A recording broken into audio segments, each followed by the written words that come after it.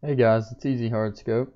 Today I'm going to show you how to fix the uh, H1Z1 King of the Kill G34 error code. You're going to hit play and it's going to tell you that you don't have the Service Pack 1 update and you're going to need to download that to play the game. So it's going to take you to this website. It's going to tell you what the code is and tell you how to fix it. If you don't already have Windows 7 Service Pack, then you're going to want to go ahead and download that and that'll probably be your fix. But what I'm helping you guys with is if you had the error where it would not let you download the update. So you click that and it's going to take you here. You're going to download the Windows 6.1 that and then it's going to either be in 64-bit or 32-bit depending on your computer. If you're not sure, you can go to computer and properties you'll find your operating system here. So once you know whether you're 32-bit, which is going to be the x86, or your 64-bit, which is the x84, you're going to want to download that file. So go ahead and minimize that. So this file is going to be in your downloads.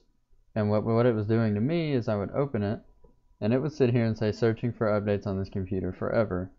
It will never find updates. It'll just say that for hours. So go ahead and close that. You're going to have to close the window and then it's going to keep running in the background.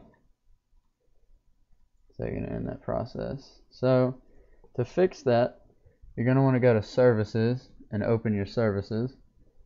Here you're going to scroll down to Microsoft Update or Windows Update, which is here.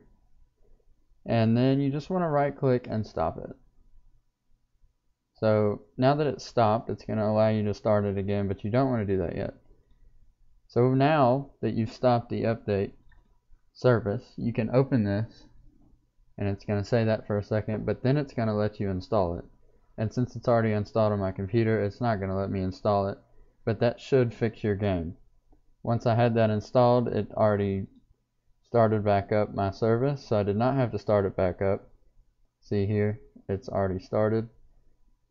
So now that that's fixed, you should be able to hit play. It should not give you the error message, and you should be able to play H1Z1. But as you can see, I got a nice white screen right now, but I did not get an error code telling me that the game could not be played without the service pack. So I hope this guy helped you guys out that were having the same problem that I was. That is loud. And uh, have a good day.